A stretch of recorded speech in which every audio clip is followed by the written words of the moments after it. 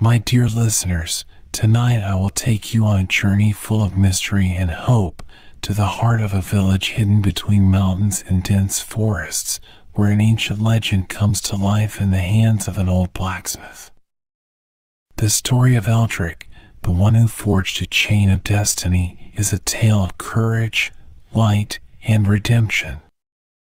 Sit back, close your eyes, and let yourself be enveloped by this story, which reminds us that even in the darkest moments, there is always a ray of hope. The Chain of Destiny. In a secluded corner of the world, in a small and sleepy village, forgotten by time hidden between tall mountains and deep forests, lived an old blacksmith named Eldric. Eldric was a simple man, but skilled in his craft, and his workshop was the place where the magic of metal came to life under the strength and expertise of his hands. Every day, the sun rose over the quiet village, casting its warm rays over moss covered roofs and the dirt road that wound through modest houses. But Eldric, like his village, was no ordinary man, and on a cold autumn night, destiny knocked on his door in the form of an unexpected and mysterious visit. That night was different from any other. The wind howled through the bare branches of the trees, and dry leaves danced in the air, carried by cold currents that slipped through the village. The fire in Eldric's furnace burned low, casting playful shadows on the walls of his workshop. The blacksmith, with hands calloused from years of hard work, sat deep in thought, staring at his anvil where so many stories had been forged in metal. Suddenly, an unusual sound came from the door, a slight creak, followed by a cold breath that entered inside. The door, which had been securely closed until then, suddenly opened, and in the doorway appeared a silhouette. Eldric looked up, and in the flickering light of the fire, he saw a woman. Her hair, black as ebony, cascaded in waves over her shoulders, and her eyes, deep and dark, seemed to hold secrets beyond mortal understanding. Without uttering a word, the woman approached Eldric, each step accompanied by a faint sound, like the rustle of a silk cloak. Reaching him, she raised her delicate hands and handed him a small, heavy sack. Without asking anything, the blacksmith took the sack from her hands and felt its unusual weight. Carefully opening it, he took out pieces of metal that shone with a cold, silver light as if they had been bathed in moonbeams. The metal was of an unknown nature, and although Eldric was accustomed to steel, iron, and bronze, he had never seen anything like this before. The moment he touched the metal, he felt a shiver run through his body as if the energy of the material itself was penetrating his skin.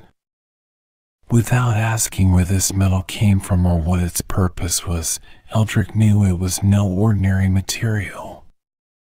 The woman, without offering explanations, requested that a chain be forged. Eldric, a simple man but intuitive, understood that this request was full of mystery and significance. Without wasting any more time, he turned to the anvil, placing the unknown metal on it and preparing to begin forging.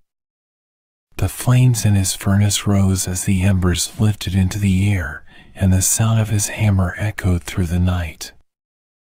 As Eldric struck the metal, he felt that each blow transformed not just a piece of metal but also the air around him. Each link he forged seemed to come to life, emanating a strange and powerful energy. As the blacksmith continued his work, visions began to appear in his mind like forgotten memories of a distant past. In those moments, Eldric saw the past of his village as he had never seen it before. He saw the struggles and trials the villagers had gone through, the joys and sorrows that had shaped their lives.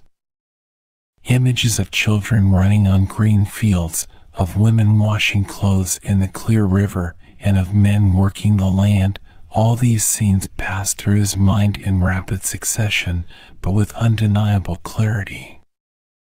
But the visions did not stop at the past. As the links of the chain multiplied under his hammer, Eldric began to see fragments of the future. His future, the future of the village, and of the people he knew so well. He saw shadows creeping through the village streets, saw sad faces, souls burdened by the weight of wrong decisions and merciless fates. Eldric saw the faces of the villagers as he knew them, but also as he had never seen them before. Instead of the smiles and warm looks with which they greeted him daily, Eldric now saw expressions of anxiety, fear, and guilt. He saw deep shadows under their eyes, wrinkles that seemed to hide years of suffering and the burden of secrets too heavy to be spoken. As each link was added to the chain, these visions became darker. Eldric saw how the chain, once complete, began to tighten around the village, binding everyone in an embrace of iron that did not bring peace but an unbearable burden. He saw how each villager's mistakes, no matter how small or large, were attracted like magnets to the strange metal, gathering in the links of the chain, each sin and fear forming a link that closed with a dull thud, like an unspoken oath. As the chain neared completion, even more disturbing visions began to haunt Eldric. He saw how the village, already overwhelmed by the weight of poverty and daily needs, began to sink into a darkness that seemed endless. The sky, once pierced by the sun's rays even on the coldest winter days, now became a sea of dark and thick clouds, and an eternal night seemed to settle over the entire community. In those visions, Eldric saw how the village's children, once full of life and joy, now walked silently and sadly, with empty eyes, devoid of any trace of hope.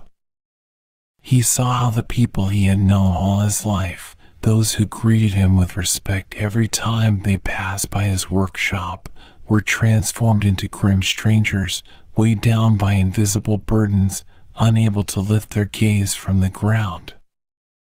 Each link Eldric added seemed to add another shadow of despair to the village's life, and the village seemed to be heading towards an inevitable point of collapse.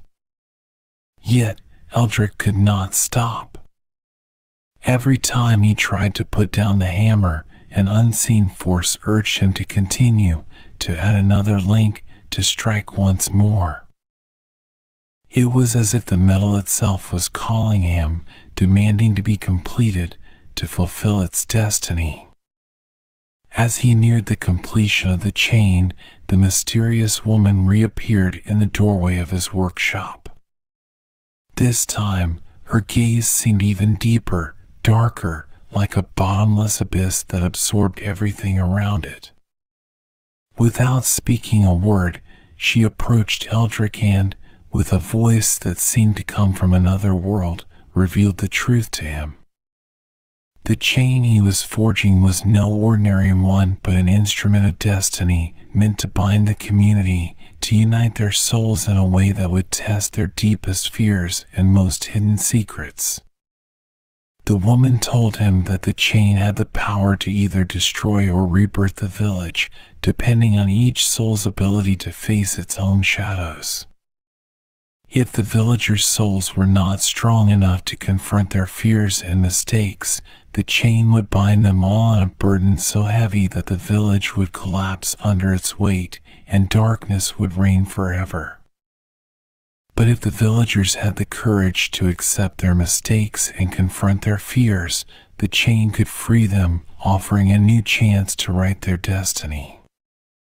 Eldric, overwhelmed by the woman's revelations, felt a deep horror growing in his soul.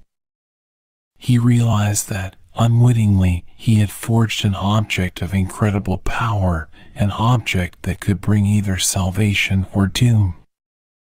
Each hammer blow, each link added, only increased the burden he carried. It was too late to stop, and the chain had to be completed. With a heavy heart, Eldric continued to strike the metal, but now with a new awareness of the importance of each action.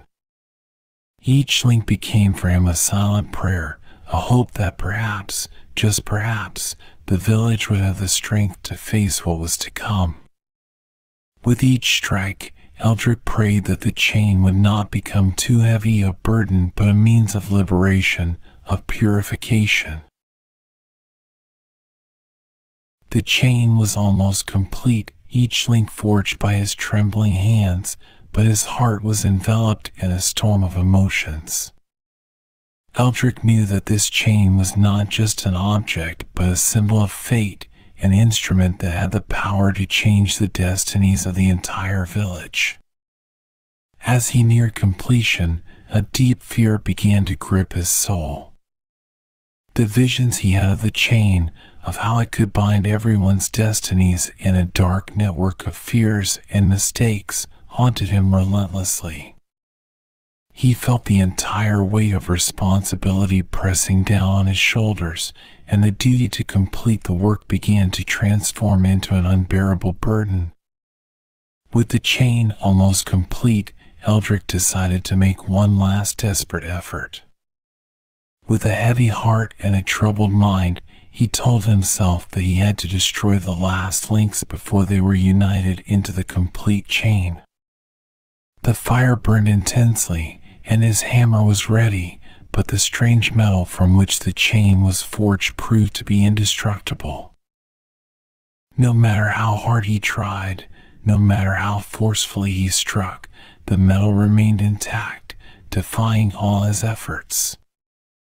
Eldric felt powerless, as if his will no longer mattered in the face of the mysterious power of the chain. Every attempt to destroy the metal seemed in vain, as if fate itself would not allow him to resist. But deep in his soul, the blacksmith could not accept this fate. The desire to protect his village, to prevent the darkness from descending upon his community, pushed him to find a solution, no matter how difficult it might be. With his last remaining strength, Eldric realized that if he could not destroy the chain, he could still shape it in another way to transform it into a symbol of hope rather than despair. Determined, he took the last link, the one that would close the chain, and placed it on the anvil. Instead of forging it like the others, Eldric decided to close it with his own stamp inscribing on it a symbol that for him represented everything that life and hope meant a sun rising over a mountain. This was his last chance to change the course of events, his last hope that the chain could bring light instead of darkness. With trembling hands, Eldric raised the hammer for the last time, feeling how every fiber of his being was charged with the significance of this moment. The blow fell with a force that seemed to come not just from his arms, but from his soul, from the deep desire to change the village's fate. At the moment the last blow was struck, a deep tremor shook the earth, causing the entire village to quake. Eldric felt the air in the workshop become charged with an unknown energy, and the ground seemed to vibrate beneath his feet. With an intensity that seemed to defy reality, the earth opened and a blinding light emerged from the chain, piercing the darkness of the night. That light, stronger than anything Eldric had ever seen, spread across the entire village, flooding it with a brilliance that seemed to come from the depths of the earth. The villagers, asleep in their homes, suddenly awoke feeling how an unseen weight lifted from their souls. It was as if the darkness that had surrounded them for so long was being banished by that purifying light. The chain, now complete, floated in the air for a moment, shining with an unprecedented intensity. Eldric, with wide eyes full of wonder, watched as the links of the chain, still united, began to disintegrate into fine stardust. This dust, full of light and hope, slowly spread over the entire village like a blessing from the heavens. Each speck of dust fell gently on the ground, on the roofs of houses, on the trees, on the faces of the people, bringing with it a profound peace. The villagers, having emerged from their homes, looked at the celestial spectacle with eyes full of wonder. The feeling of heaviness that had weighed on them for so long was gone, replaced by a relief that none of them had ever felt before. Eldric, weakened and exhausted, but with a light heart, knelt, looking at his final work.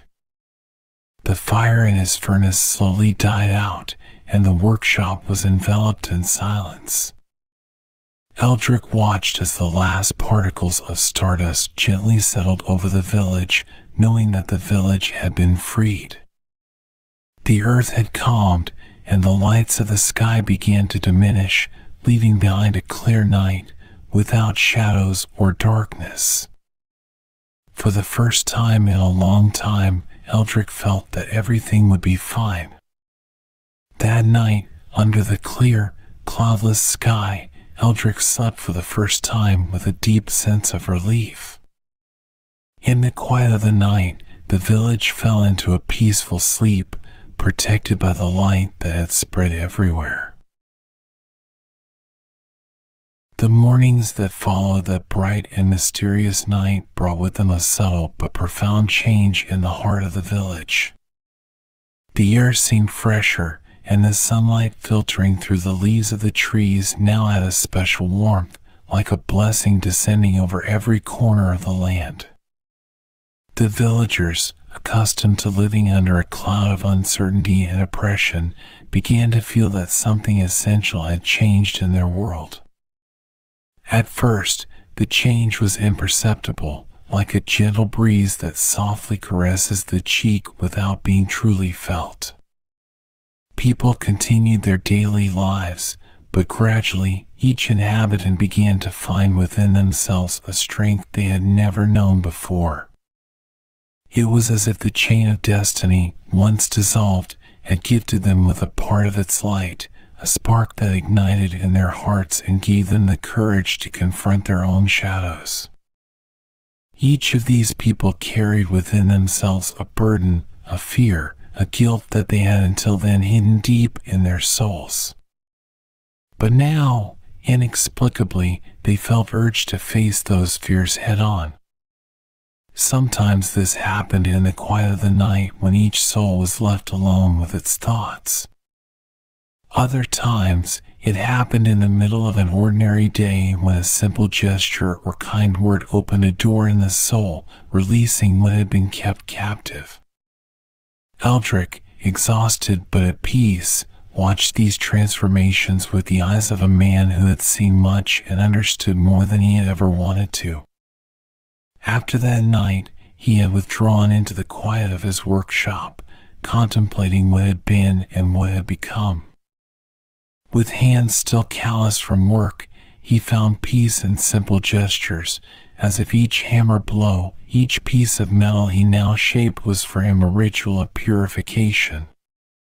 As he observed how the village began to flourish, Eldric felt that he had finally found his inner peace. The people around him were no longer just neighbors or acquaintances, but reborn souls, each finding within themselves the strength to rewrite their destiny. Each inhabitant, inspired by the light of that night, found the courage to live their life with a new sincerity and openness. Those dusty roads, which once seemed to lead nowhere, had now become paths of hope. The children, who had once been silent and withdrawn, now ran through the village with crystal clear laughter, without the shadows that had followed them for so long. The village's men and women, once burdened by unspoken fears and worries, now lifted their gazes with confidence, finding in themselves and in each other the strength to move forward. One morning, as the sun's rays began to flood the village with a golden light, Eldric felt the presence of a familiar figure at the threshold of his workshop. Lifting his eyes, he saw the mysterious woman who had appeared that fateful night. This time, however, her face no longer bore that mysterious gravity but was lit by a gentle, almost parental smile.